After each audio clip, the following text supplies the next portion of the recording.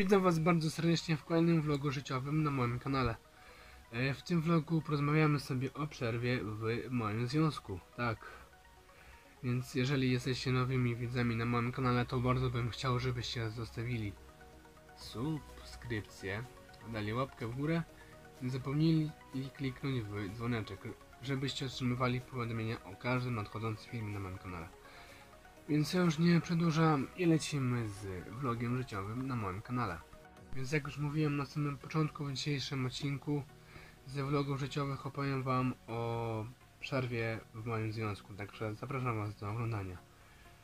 E, Więc przerwa w moim wią- związku mm, nastała dzisiaj, czyli, czyli 28 e, lutego.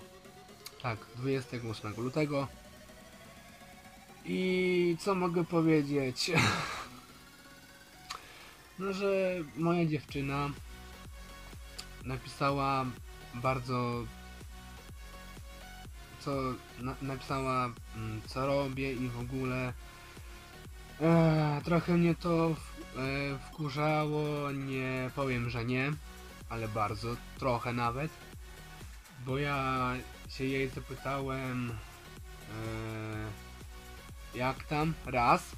Raz. Podkreślam raz. A jak wróciłem ze szkoły dzisiaj, dzisiaj do domu, to ona ciągle się mnie, e, się, się mnie wypytywała, co robię, co, co, co się ze mną dzieje i w ogóle, w ogóle. I trochę miałem dość już tego i napisałem jej, że chcę mieć przerwę. Tak, chcę mieć przerwę we związku, bo nie można tak na, naciskać na kogoś. A przecież nikt nie lubi tego, jak, jak, ktoś naciska na kogoś, tak? No właśnie, więc trochę tak, trochę nie bardzo.